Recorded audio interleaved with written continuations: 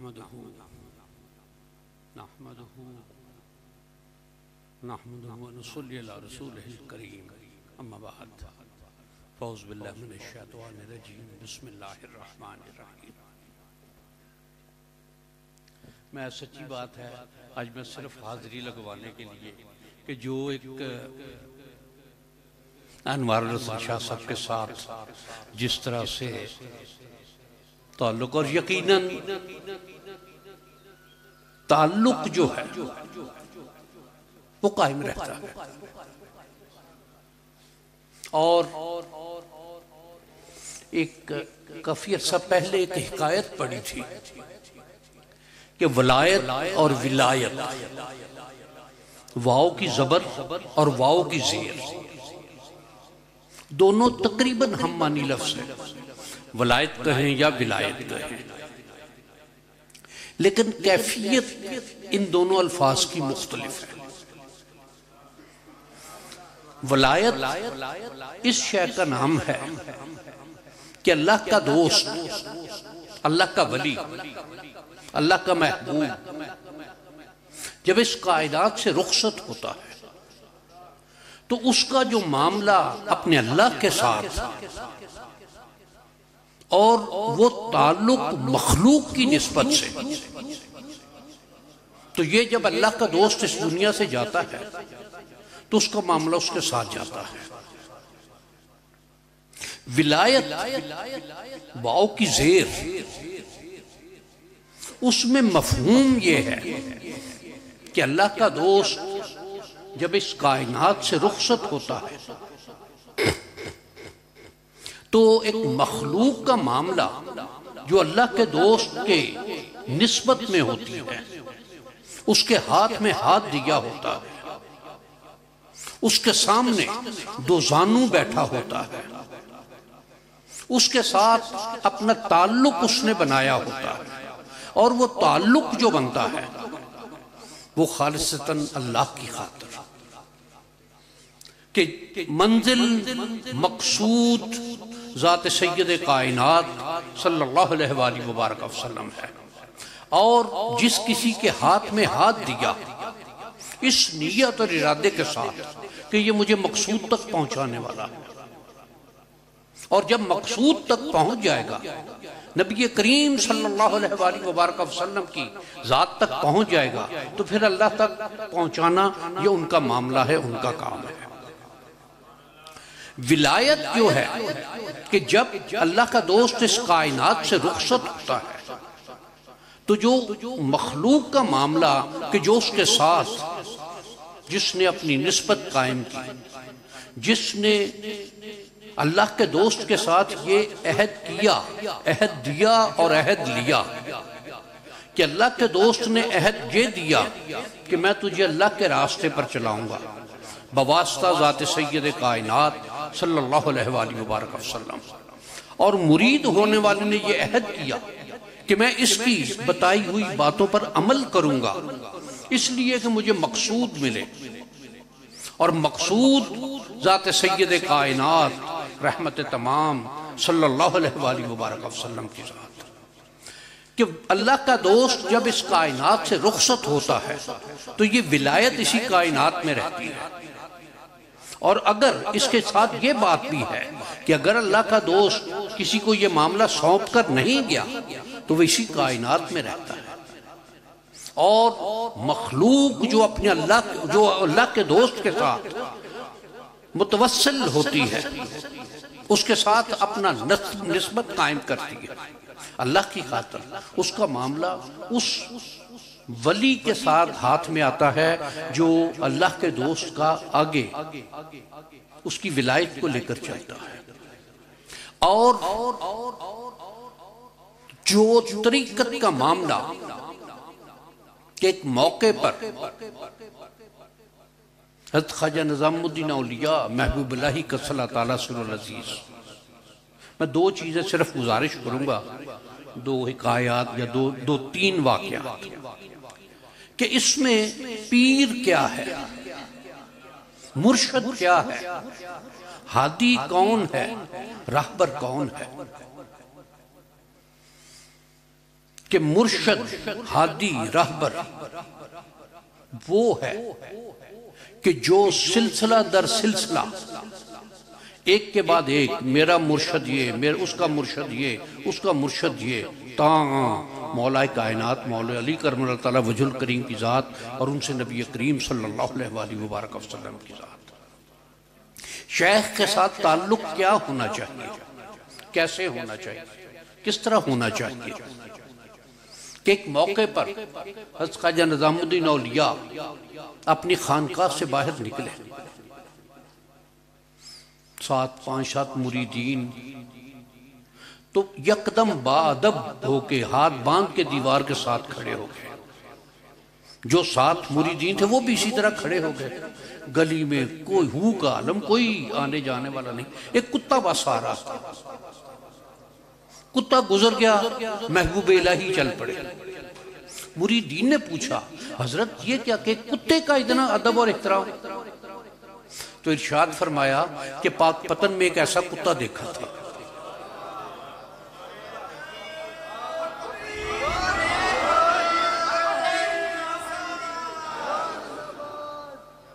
ख्याल ये हुआ कि ये कहीं वो तो नहीं है। ये देखिए, मुरीद के लिए जो शह लाजम है, कि शेख की गली का कुत्ता, वो भी मोहतरम कि उसकी नस्बत शेख के साथ और इस कायनात में मुरीद बासफा खुसरो जैसा किसी ने नहीं देखा होगा। कि जब मुर्शद का विशाल हुआ तो शहर से बाहर थे। वापस आए तो शेख की पाइती बैठ गए और बस यही बात के पता नहीं, शेख ने क्यों जल्दी की? और ये रिवायत बयान की जाती है कि छह माह तक अपनी जगह से नहीं हिले, और टांगे जुड़ गई। ये मुरीद की कैफियत है। और मुरीद को अपने शहर के साथ मोहब्बत का ये अंदाज होना चाहिए कि एक मौके पर तमीर खुसरो बंगाले की मुहिम से वापस आए तो एक जगह क्याम किया। और उससे पहले एक वाक्य था कि कव्वाल कव्वाल चले गए। कि कव्वाल हज़रत रजामुद्दीन अलिया महबूब तजीज़ की बारगाह में हाजिर हुआ और उसने अपनी कुछ मुश्किल पेश की। मदद का तलबगार हुआ। तो आपने इर्शाद फरमाया कि अभी तो पास कुछ नहीं है। इंतज़ार करो, कुछ आया तो पेश कर देते हैं, तुम्हें हाजिर कर देते हैं। तीन दिन वो कवाल वहाँ बैठा रहा। इत्तेफाक की बात है कोई नजराना भी नहीं आया। तीसरे दिन सरकार निज़ाम पाक अज़ीज़ ने अपनी खरामे निकाली। लकड़ी के जूते निकाल कर उसे दे दिए। कि अच्छा भाई, इस वक्त तो यही कुछ है, ले जाए बड़ा रंजीदा हुआ कि लो जी, बड़ा शोहरा सुना था, बड़ी नाम सुना था। तो मिला क्या, टूटे जूते? लकड़ी की खड़ावे? इसी रंज में और दिल में शिकायत करता हुआ निकल पड़ा। ये जहाँ अमीर खुसरो आके ठहरे। रात हुई तो कमरे से बाहर आ गए। आवाज़ लगाई कि, बुए पीर मी आयद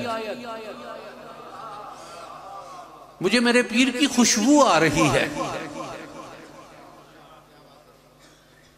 दोबारा इरशाद फरमाया कि बुए पीर मी आयत। लोग जो उनके मुसाहिब थे, भागे दौड़े इधर उधर देखा। आका जी, कोई भी शायद ऐसी नहीं है। आपके मुर्शद यहाँ तशरीफ़ नहीं लाए। कमरे में चले गए, फिर थोड़ी देर बाद तशरीफ़ लाए कि बुए पीर मी आयत। अब वो जरा कॉन्शियस होके भागे दौड़े के देखे तो सही। क्या ऐसा मामला है? फिर आगे कहा जी, कोई ऐसी चीज़ नहीं है। फिर जब तीसरी दफ़ा इर्शाद फरमाया कि बुए पीर मी आयत, अब ये देखिए मुरीद भी क्या है। कि शेख की जूते वहाँ पड़े हुए हैं, खड़ा में। उसे उसमें से भी शेख की खुशबू आ रही है। शेख का एहसास कर रहा है शेख के वजूद को महसूस कर रहा है शेख के जिस्म की खुशबू को महसूस कर रहा। है जब तीसरी दफ़ा अपने इर्शाद में तो लोग फिर भागे दौड़े और उस कवाल को पकड़ कर ले आए। कि हजूर ये है ये, ये कह रहा है कि मैं दिल्ली से होकर आया। पूछा उसने। उसने अपना वही शिकवा कि बड़ा शोहरा सुनकर गए थे। तो मुझे तो ये टूटे जूते मिले हैं खड़ावे मिली हैं लकड़ी की इर्शाद सुनाया बेचोगे? उसने कहा हजूर, क्यों मज़ाक करते हैं मेरे साथ? ये इन जूतों को कौन खरीदेगा? इर्शाद फरमाया कि मैं बंगाली की मुहिम से वापस आ रहा हूँ। सत्तर ऊँट मेरे पास मालो दौलत से भरे पड़े। क्या उनके बदले सौदा करते हो? वो गश खा के गिरा के ये मेरे साथ मज़ाक उसने कहा, हजूर, मैं गरीब आदमी। मेरे साथ आप ये मज़ाक तो ना करें। उसने कहा, वो खड़े हैं ये जूते मुझे दे दे और जा ले जाओ। वो निहाल होके चला गया। अमीर खुसरो। अगले दिन शहर में दाखिल हुए शहरी के वक्त में। और शहर में जब दाखिल हुए तो जूते सर पर रखे हुए वो और रक्स करते हुए शहर में आ गए सामने से मुर्शदार नज़र आ गया। इर्शाद फरमाया, खुसरो, सौदा सस्ता मिला।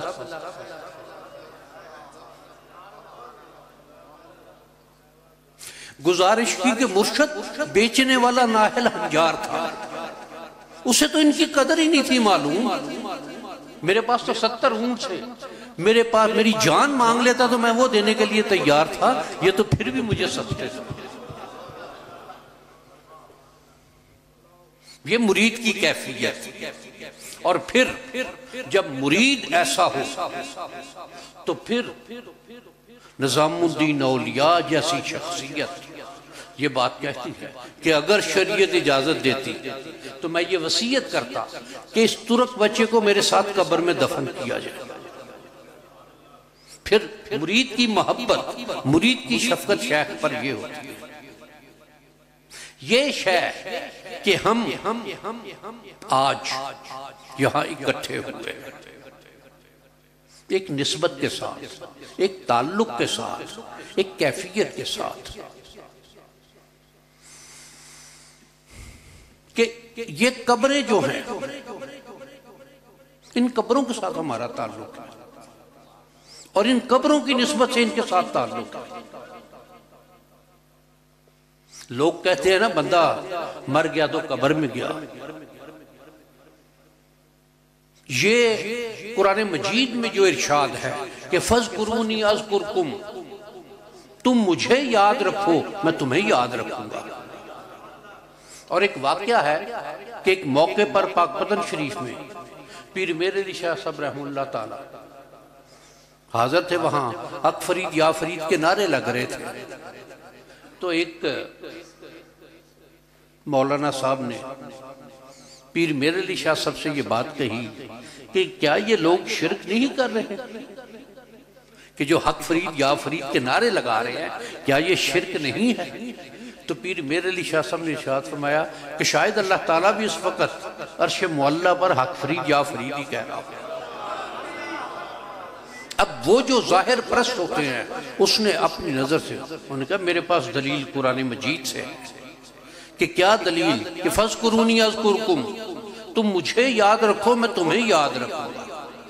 कि बाबा हुजूर की जात वो है कि जिनका इरशाद है कि 40 साल तक फकीर फरीदुद्दीन मसूद ने अपने अल्लाह के किसी हुक्म की खिलाफ वर्जी नहीं की।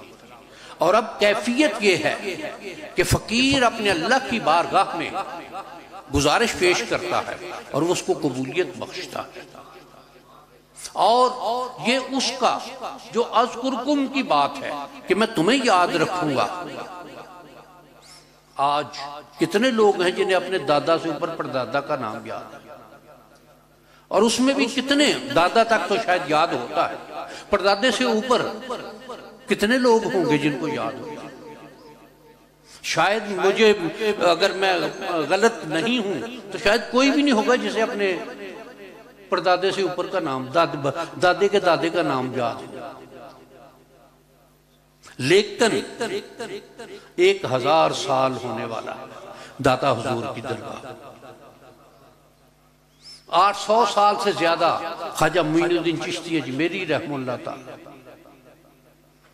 पौने आठ सौ साल बाबा फरीदुद्दीन मसूद का सला ताला आज भी उनकी बारगाह है, आज भी उनके मकाम नारों से गूंजते हैं। और ये यहाँ वर्षा में हम लोग जो आए हैं, मुझे लाहौर से आते हुए पाँच घंटे लगे।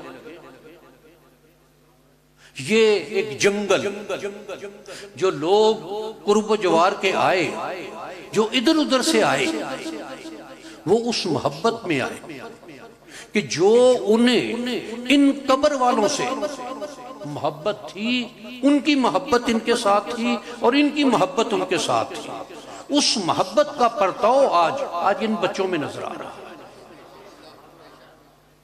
और यकीनन कि जहाँ अल्लाह का दोस्त आकर बैठता है वो जगह, वो मकाम, उसकी नेम नेमतों का, उसकी तजलियात का, उसकी कैफियात का, उसके अनवार इकराम के वरूद का मकाम बन जाती है।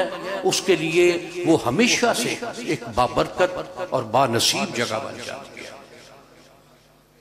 आज का एतराज़ ये भी है कि मज़ारों पर जाकर दुआएँ मांगना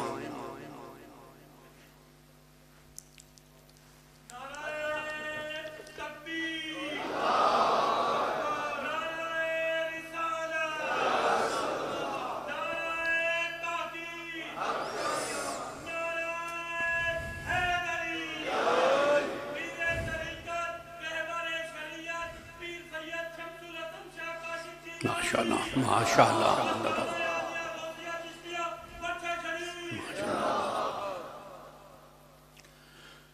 कबूलियत दुआ के मकामात। उनमें एक मकाम वो भी है कि जहाँ अल्लाह ताला का ज़िक्र होता हो, जहाँ नमाजें अदा की जाती हो, जहाँ कुरान मजीद की तलावत होती हो, जहाँ उस मालक ताला की इबादत की जाती है। वो यकीनन कबूलियत दुआ के मकाम है। और ये दलील कुरान मजीद से कि हज़रत मरियम सलामुल्ला उनका पूरा वाक्य अगर देखें तो उनकी वालदा ने उन्हें नज़र पेश किया अपने अल्लाह की बारगाह में। और उस दौर में ये बात थी कि उनकी जो मस्जिद होती थी उसके लिए कि जो खातून बेटियाँ पैदा होती थी, वो मन्नत मानती थी, नज़र मानती थी, उसको बेटा होता था और पहला बेटा वो वहाँ के लिए मन्नत मान के वहाँ पेश कर दिया जाता था। ये बेटी पैदा हुई। और ये वाक्य पूरा कुरान मजीद में कि हज़रत मरियम सलाम की कफालत हज़रत जकरिया सलाम के हिस्से में आए हज़रत जकरिया सलाम नबी बरहक जिनका तस्करा कुरान मजीद में मौजूद। और उस वक्त तक बे औलाद रिवायात में जिस तरह से बात है कि उस वक्त तकरीबन, बुढ़ापे की उम्र में, कि जब जहाँ हज़रत मरियम सलाम हुजरा दिया गया था, जहाँ ये अपने अल्लाह की इबादत करती थी, कि जब हज़रत जकरियालाम वहाँ दाखिल हुए और बेमौसम के फल देखे तो जो कुरान मजीद इर्शाद फरमाता है या मरियम अन्ना ला के हाजा। ए मरियम, ये कहाँ से आए? तो हज़रत मरियम ने जवाब में कहा, कालत हो मिन इन दिल्ला क्या मेरे खालू जान ए मेरे सरपरस्त, ये मेरे अल्लाह के यहाँ से इन अल्लाह यर्ज को मैं यशाओ बगैर हिसाब। और यकीनन अल्लाह ताला जिसे चाहता है, बगैर हिसाब के रिस्क अता फरमाता है। ये कैफियत हो गई। और वहीं पर हुनाल का दा जकरिया रब्बा। उसी मकाम पर, उसी वक्त में, उसी साथ में, उसी कैफियत में, उसी हालत में हज़रत ने अपने अल्लाह को दा जकरिया रब्बा, काला रब मिल्लुनका जुरियतन तय्यबा, के बारे मुझे अपने हाथ से नेक पाकिजा औलाद और जब जब अल्लाह ताला के हाथों ने बशारत मिली कि अल्लाह ताला आपको एक बेटा देगा। और बेटा भी ऐसा कि तीन सिफात उसकी उसी वक्त बयान कर सैयदम व हसूरम व नबीम मिन सालहीन। कि वो सरदार होगा, वो महफूज होगा, और नबियों में न सालहीन, वो नबियों में साले होगा। और उसके साथ फिर हज़रत जकरियाम दुआ अपनी मांगी हुई है। नबी बरहक हैं, यकीनन अपने अल्लाह की अता पर उन्हें कोई शक नहीं होगा। लेकिन फिर भी के बारे लहा, मुझे कोई निशानी अता ये और वो दुआ कि हुनाल का दा जकरिया हज़रत मरियम सलाम जहाँ इबादत कर रही थी अपने अल्लाह की, अपने अल्लाह के नाम की तस्वीर कर रही थी, अपने अल्लाह का दरूद पढ़ रही थी, और इबादत कर रही थी तो वो जगह, वो मकाम जहाँ उसकी इनायात बेशुमार थी। जब वहाँ उस कैफियत को, उस अंदाज को, उस इनाम को, उस इकराम को वहाँ देखा तो फिर हज़रत जकरियाम ने भी वहाँ, अपने अल्लाह को आवाज़ दी। हमारे यहाँ अल्लाह के वलियों के मज़ारात, के अगर अगर अगर जो बड़े दाता हुजूर का, ख्वाजा गरीब नवाज़ का, और मुझे एक वाक़ याद आ रहा है कि अजमेर शरीफ का। मुझे एक शख्स ने सुनाया ये वाक्य कि वो वहाँ हाजिरी के लिए गया। तो बैठा हुआ वहाँ सिख भी आते हैं, हिंदू भी आते हैं ईसाई सारे मज़हब के लोग आते हैं। ये उसका अपना बयान है कि पता नहीं मेरे अंदर क्या आई। मैंने एक सिख को बुलाया पास। उसको बुला के कहा कि तुम सिख हो, तुम यहाँ कहाँ आए? तो सिख ने जो जवाब दिया, उसने कहा, ख्वाजा को नहीं एतराज़, तू कौन एतराज़ करने वाला? और ये शायद देखिए कि जिस तरह से एक अंग्रेज़ का बयान है कि मैंने इस हिंदुस्तान पर, इस कबर को हुकूमत करते देखा। ये यकीनन जिस्मानी तौर पर तो यकीनन ये चले जाते हैं। ये लोग जो अल्लाह के पसंदीदा, अल्लाह के चुनीदा लोग हैं। लेकिन ये यकीनन इनके औसाफ, इनकी अजमतें, वो इस कायनात में हमेशा रहती है। और आज भी जो हम यहाँ इकट्ठे हैं, यहाँ जो अभी छोटे बच्चे हैं। लेकिन ये देखा जाए कि क्या अनवारुल हसन साहब इनमें नज़र नहीं आ रही। वो कैफियत नहीं नज़र आ रही।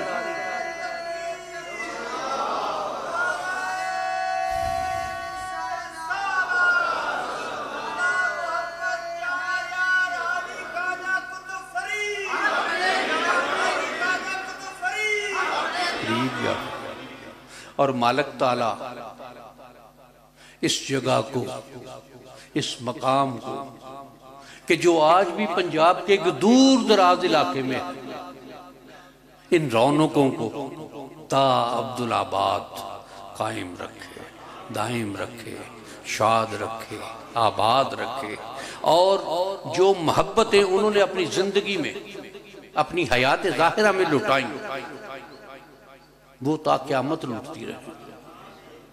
वो कैफियत वो अता होती रहे वो अनवार बटते रहे और आने वाले यहाँ उनसे मुस्तफ़ीद होते रहे मालक ताला इसकी तोफ़ी अता फरमाता रहे वाखिर दावाना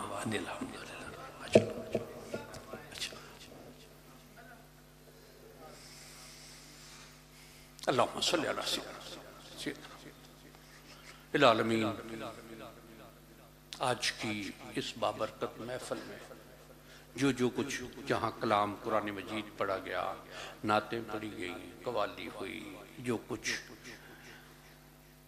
नजराने पेश किए गए बारे लाहा, सबको अपनी बारगाह में कबूल फरमा।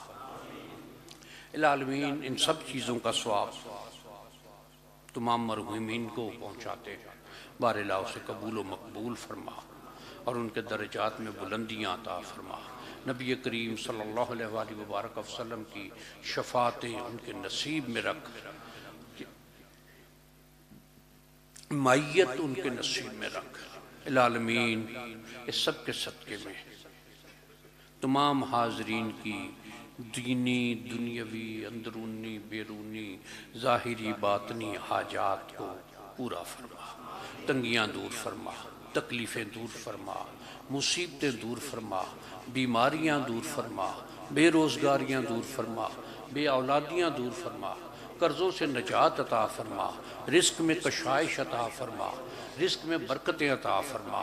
इलालमीन यहाँ हर आने वाले को तेरा रास्ता, तेरे महबूब सल्लल्लाहु अलैहि मुबारक वसल्लम के रास्ते की हिदायत होती रहे, तलकीन होती रहे।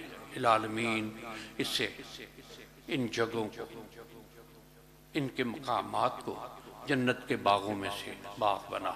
इलालमीन यहाँ हर आने वाला, राहतों के साथ, खुशियों के साथ, बरकतों के साथ और नेमतों के साथ यहाँ से वापस जाए। बार आज जो उसमें हासिल हुए। इलालमीन साहबजदगान को ये तोफ़ी अता फरमा कि वो अपने बड़ों का मिशन लेकर आगे चलते रहें। दीन की खिदमत करें। दीन की आबियारी करें। यहाँ जो दीन से हटे हुए लोग हैं, दीन से भटके हुए लोग हैं, दीन से बहके हुए लोग हैं बार लहा उन्हें रास्तगी मिलती रहे, खैर मिलती रहे। दीन दुनिया की हर खैर, करम, बरकत, नेमत, आफियत, दस्तगिरी, इनाम, एहसान, इकराम, फजल, सादत, हर शय से, हर अच्छी शय से, हमेशा नवाजता रहे और बुराइयों से गुनाहों से लफ्जशों से, तकसीरों से निजात ता फरमा। अपना बना के रख, अपनों का बना के रख। इलालमीन अपने नेक लोगों के, अपने सालहीन के, अपने इबादत गुजारों के, अपने शुक्र गुजारों के, अपने नवादे हुओं के रास्ते पर चलते रहने की तोफ़ी कताब फरमाता रहे। इलालमीन शैतान के शर से, हाजों के हसद से, रजीलों की रजालत से, जादूगरों के जादू से अमलों के अमलियात से बद जुबानों की बद जबानी से बद कलामों की बद कलामी से बद निगाहों की बद निगाही से। हमेशा अपनी पनाह में और अपनी दस्तगीरी में रख। इलालमीन अच्छा इंसान बनने की तोफ़ी कता फरमा अच्छा मुसलमान बनने की तोफ़ी कता फरमा। नबी करीम अलैहि वबारक वसल्लम का सच्चा उम्मती बनने की तोफ़ी कता फरमा। दीन के अहकाम पर अमल करने की तोफ़ी कता फरमा। सच्चा, सुथरा, नेक, साले शख्स बना।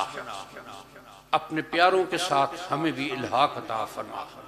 रबना फिर दुनिया हसना वफिल आखिरत हसना वाकना ज़ाबन्नार रबना इन्ना मन्ना फ़िर लना जुनूबना वाकना ज़ाबन्नार रब जलनी मुकीमसलात मंजुरियाती रबना व तकबल दुआ। रबना फ़िरली वाले वाले दैया वलिलमोमिनीन यौम यकुमुल हिसाब। समेना वाताना गुफरान रबना वालिकल मसीर। अल्लाहुम्मा तवफ़ना मुस्लिमीन वालिकना बिस्सालिहीन। रबना ला तुज़िग़ क़ुलूबना बाद हदायतना व हब लना मिन रहमा। इन्नका अंतल वहाब। रबना इन्नका जामिउन नास लियौमिल ला रैब फ़ी। इन्नल हल युखलिफुल ला तो आखिजन नसीना वख्ताना रबना वला तहमिल अलैना इसरन कमा हमल हमलतहु। अलल्लज़ीना मिन कबलना। रबना वला तो मा ला ताक़त लना बि। वअफ़ु वग़फ़िर लना। वरहमना। अंत मौलाना फंसुरना अलल कौमिल काफिरीन रब्बना तकब्बल मिन्ना इन्नका अंतस समीउल अलीम व तुब अलैना इन्नका अंतत तव्वाबुर रहीम वअफ़ु अन्ना वग़फ़िर लना वरहमना अंत मौलाना फंसुरना अलल कौमिल काफिरीन वसल्लल्लाहु ताला अला खैर खल्क ही नूर अर्श ही सैयदना व मौलाना मुहम्मद व अला बिरहमत या